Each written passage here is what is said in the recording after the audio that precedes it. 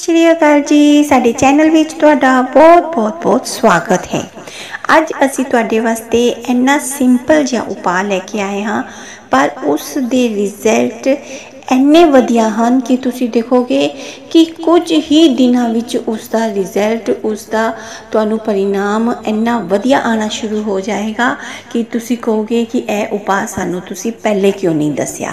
ਤੇ ਇਸ ਦੇ ਨਾਲ ਨਾਲ ਜਿਹੜੇ ਵਿਦੇਸ਼ ਵਿੱਚ ਰਹਿੰਦੇ ਹਨ ਤੇ ਮੈਨੂੰ ਕਮੈਂਟ ਕਰਕੇ ਕਹਿੰਦੇ ਹਨ ਕਿ ਅਸੀਂ ਤਾਂ ਸਾਡੇ ਇੱਥੇ ਸੂਰਜ ਹੀ ਨਹੀਂ ਚੜਦਾ ਅਸੀਂ ਇੱਥੇ ਨਹਿਰ ਵਿੱਚ ਜਾਂ ਪਾਣੀ ਵਿੱਚ ਜਲ ਪ੍ਰਵਾਹ ਕੋਈ ਚੀਜ਼ ਨਹੀਂ ਕਰ ਸਕਦੇ, ਸਾਨੂੰ ਇੱਥੇ ਜੁਰਮਾਨਾ ਲੱਗ ਜਾਂਦਾ ਹੈ। ਹੁਣ ਤਾਂ ਨਾ ਵਿਦੇਸ਼ ਦੇ ਰੂਲਸ ਹੈਗੇ ਹੈ ਤੇ ਸਾਨੂੰ ਇਸ ਦਾ ਕੋਈ ਉਪਾਅ ਦੱਸੋ, ਜਾਂ ਫਿਰ ਮੰਦਿਰ ਨਹੀਂ ਹੈ ਸਾਡੇ ਕੋਲ ਬਹੁਤ ਦੂਰ ਸਾਨੂੰ 2-2 300 ਕਿਲੋਮੀਟਰ ਦੂਰ ਤੇ ਜਾਣਾ ਪੈਂਦਾ ਹੈ। ਤੇ ਮੈਂ ਤੁਹਾਡੇ ਇਸੀ ਪਰੇਸ਼ਾਨੀ ਨੂੰ ਦੂਰ ਕਰਨ ਵਾਸਤੇ ਅੱਜ ਬੜਾ ਹੀ ਵਧੀਆ ਉਪਾਅ ਲੈ ਕੇ ਆਈ ਹਾਂ। ਇੰਡੀਆ ਵਿੱਚ ਜਿਹੜੇ ਬੰਦੇ ਰਹਿੰਦੇ ਹਨ, ਉਹ ਤਾਂ ਇਸ ਉਪਾਅ ਨੂੰ ਕਰ ਹੀ ਸਕਦੇ ਹਨ। ਉਹ ਤਾਂ ਕਰਦੇ ਹੀ ਹਨ, ਵਿਦੇਸ਼ ਵਾਲੇ ਵੀ ਇਸ ਉਪਾਅ ਨੂੰ ਕਰਨ। ਬਹੁਤ ਹੀ ਵਧੀਆ ਰਿਜ਼ਲਟ ਮਿਲੇਗਾ।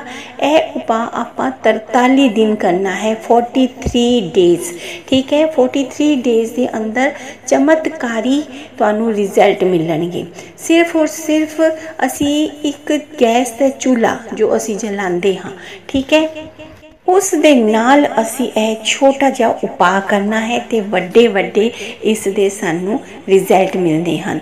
ਠੀਕ ਹੈ? ਜੇਕਰ ਤੁਹਾਡੇ ਘਰ ਵਿੱਚ ਕਈਆਂ ਘਰਾਂ ਵਿੱਚ ਮੈਂ ਦੇਖਿਆ ਹੈਗਾ ਕਿ ਖਾਣ ਨੂੰ ਬੈਠਣਗੇ, ਰੋਟੀ ਆਰਾਮ ਨਾਲ ਰੋਟੀ ਲਗਾਈ ਹੈ, ਮਤਲਬ ਰੋਟੀ ਖਾਂਦਿਆਂ ਖਾਂਦਿਆਂ ਹੀ ਇੰਨਾ ਕਲੇਸ਼ ਪੈ ਜਾਂਦਾ ਹੈ ਕਿ ਰੋਟੀ ਪਾਣੀ ਸਭ ਵਿੱਚ ਰਹਿ ਜਾਂਦਾ ਹੈ।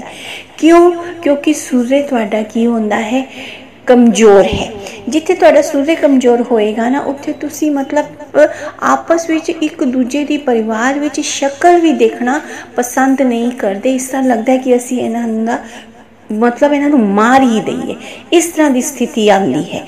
ਤੇ ਨਾਲ ਦੇ ਨਾਲ ਪੈਸਾ ਨਹੀਂ ਆਂਦਾ ਹੈ ਤੇ ਘਰ ਦੀਆਂ ਲੇਡੀਜ਼ ਇੰਨੀਆਂ ਪਰੇਸ਼ਾਨ ਰਹਿੰਦੀਆਂ ਹਨ, ਪੈਸੇ ਦੀ ਕਮੀ ਹੋਣ ਦੇ ਕਾਰਨ ਉਹ ਨਾ ਤਾਂ ਆਪਣੇ, ਮਤਲਬ ਆਪਣੇ ਹਸਬੰਡ ਤੋਂ ਪੈਸਾ ਮੰਗ ਪਾਉਂਦੀਆਂ ਹਨ ਤੇ ਪਰ ਉਸ ਦੇ ਕਾਰਨ, ਉਹ ਸੋਚ-ਸੋਚ ਦੇ ਕਾਰਨ ਸਟ्रेस ਦੇ ਕਾਰਨ ਘਰ ਵਿੱਚ ਬਿਮਾਰ ਪਈਆਂ ਰਹਿੰਦੀਆਂ ਹਨ ਤੇ ਹੈਡ ਆਫ ਦਾ ਫੈਮਿਲੀ ਦਾ ਸਟ्रेस ਲੈਂਦਾ ਹੀ ਰਹਿੰਦਾ ਹੈ ਕਿਉਂਕਿ ਸਾਰੇ ਪਾਸੇ ਜੌਬ ਨਹੀਂ ਮਿਲ ਰਹੀ ਹੈ ਜਾਂ ਵਪਾਰ ਨਹੀਂ ਚੱਲ ਰਿਹਾ ਹੈ, ਬੱਚਾ ਕਿੰਨਾ ਵੀ ਪੜ ਲਿਆ ਹੈ ਪਰ ਜੌਬ ਇੱਧਰ ਉੱਧਰ ਇੰਨਾ ਪਟਕ ਰਿਹਾ ਹੈ ਜੌਬ ਨਹੀਂ ਮਿਲ ਰਹੀ ਹੈ, ਵਪਾਰ ਨਹੀਂ ਚੱਲ ਰਿਹਾ ਹੈ, ਇਹ ਸਾਰੀਆਂ ਪਰੇਸ਼ਾਨੀਆਂ ਦਾ ਛੁਟਕਾਰਾ ਤੁਹਾਨੂੰ ਇਹ ਨਿੱਕਾ ਜਿਹਾ ਉਪਾਅ ਤੁਸੀਂ ਕਰੋਗੇ ਤਾਂ ਦੇਖੋ ਤੁਸੀਂ ਮੈਨੂੰ ਕਮੈਂਟ ਵਿੱਚ 100% ਲਿਖੋਗੇ ਹੀ ਲਿਖੋਗੇ ਕਿ ਇਹ ਉਪਾਅ ਸਾਨੂੰ ਤੁਸੀਂ ਪਹਿਲੇ ਕਿਉਂ ਨਹੀਂ ਦੱਸਿਆ।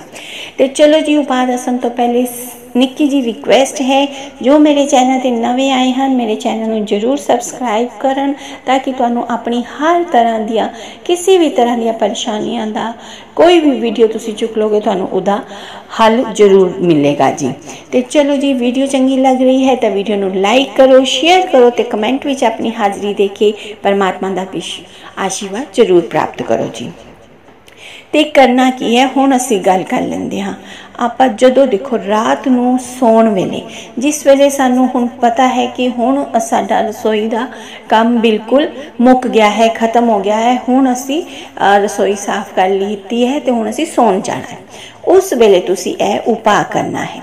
ਕੀ ਕਰਨਾ ਹੈ? ਗੈਸ ਆਪਾਂ ਸਾਫ਼ ਕਰਦੇ ਹਾਂ ਮੈਂ ਤੁਹਾਨੂੰ ਹਮੇਸ਼ਾ ਦੱਸਿਆ, ਰਸੋਈ ਹਮੇਸ਼ਾ ਸਾਫ਼ ਕਰਕੇ ਸੋਵੋ, ਗੈਸ ਉੱਤੇ ਸਾਫ਼ ਸਫ਼ਾਈ ਕਪੜਾ ਮਾਰ ਕੇ ਸੋਵੋ। ਕੀ ਕਰਨਾ ਹੈ? ਗੈਸ ਦਾ ਚੁੱਲ੍ਹਾ ਜਲਾਣਾ ਹੈ। ਬਟਨ ਔਨ ਕਰਨਾ ਹੈ ਤੇ ਹੱਥ ਵਿੱਚ ਤੁਸੀਂ ਕੱਚਾ ਦੁੱਧ ਲੈਣਾ ਹੈ। ਕੱਚਾ ਦੁੱਧ ਕੀ ਹੁੰਦਾ ਹੈ? ਦੁੱਧ ਦੇ ਅੰਦਰ ਥੋੜਾ ਜਿਹਾ ਆਪਾਂ ਪਾਣੀ ਮਿਲਾਈਏ। ਦੁੱਧ ਉਬਲੇ ਹੋਏ ਦੁੱਧ ਦੇ ਵਿੱਚ ਪਾਣੀ ਨਹੀਂ। ਕੱਚਾ ਦੁੱਧ ਜਿਹੜਾ ਪੈਕੇਟ ਹੁੰਦਾ ਹੈ ਜਿਸ ਨੂੰ ਉਬਾਲਿਆ ਨਹੀਂ ਹੁੰਦਾ, ਉਹ ਕੱਚਾ ਦੁੱਧ ਹੁੰਦਾ ਹੈ। ਉਸ ਦੇ ਵਿੱਚ ਆਪਾਂ ਥੋੜਾ ਜਿਹਾ ਪਾਣੀ ਮਿਲਾ ਦੇਣਾ ਹੈ। ਠੀਕ ਹੈ? ਉਹ ਕੱਚੇ ਦੁੱਧ ਦਾ ਜਿਹੜਾ ਛਿੱਟਾ ਹੈ, ਗੈਸ ਜਲਾਈ ਉਸ ਦੇ ਉੱਪਰ ਤੁਸੀਂ ਪੰਜ ਵਾਰੀ ਉਹ ਛਿੱਟੇ ਮਾਰਨੇ ਹਨ ਕੱਚੇ ਦੁੱਧ। ਤੇ ਦੁੱਧ ਵਾਲਾ ਜਿਹੜਾ ਪਾਣੀ ਬਣਾਇਆ ਹੈ। ਬਸ, ਉਹ ਪੰਜ ਛਿੱਟੇ ਮਾਰਨੇ ਹਨ ਤੇ ਗੈਸ ਬੰਦ ਕਰਨੀ ਹੈ। ਇੰਨਾ ਜਿਹਾ ਹੀ ਹੈ ਤੁਹਾਡਾ ਉਪਾਅ, ਇਸ ਦੇ ਨਾਲ ਤੁਹਾਡਾ ਜਿਹੜਾ ਸੂਰਜ ਹੈ, ਕਿਉਂਕਿ ਇਹ ਅਗਨੀ ਹੈ ਨਾ, ਅਗਨੀ ਸੂਰਜ ਕੀ ਹੈ? ਉਹ ਵੀ ਅਗਨੀ ਹੈ। ਤੇ ਇਹ ਸਾਡਾ ਗੈਸ ਚੁੱਲ੍ਹਾ ਕੀ ਹੈ? ਇਸ ਦੇ ਉੱਤੇ ਅਸੀਂ ਭੋਜਨ ਬਣਾਉਂਦੇ ਆ ਖਾਣਾ ਬਣਾਉਂਦੇ ਆ ਅਗਨੀ ਦੇ ਉੱਤੇ। ਇਹ ਵੀ ਬੜੀ ਪਵਿੱਤਰ ਹੈ। ਤਾਂ ਸੇਮ ਇਹਦਾ ਰਿਜ਼ਲਟ ਆਏਗਾ, ਸੂਰਜ ਤੁਹਾਡਾ ਜਿਹੜਾ ਹੈ ਬਲਵਾਨ ਬਣੇਗਾ ਤੇ ਤੁਹਾਨੂੰ ਹਰ ਕੰਮ 'ਚ ਸਫਲਤਾ ਮਿਲੇਗੀ ਹੀ ਮਿਲੇਗੀ।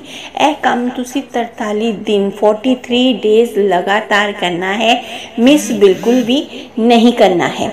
ਕਿਉਂਕਿ ਇਹ ਮਿਸ ਹੋ ਗਿਆ, ਤਾਂ ਇਸ ਨੂੰ ਫਿਰ ਤੁਹਾਨੂੰ ਦੁਬਾਰਾ ਹੀ ਕਰਨਾ ਪਏਗਾ ਨੰਬਰ ਪਹਿਲੇ ਦਿਨ ਤੋਂ ਹੀ। ਠੀਕ ਹੈ ਜੀ? ਤੇ ਇਹ ਕਰਨਾ ਸ਼ੁਰੂਆਤ ਕਦੋਂ ਕਰਨੀ ਹੈ?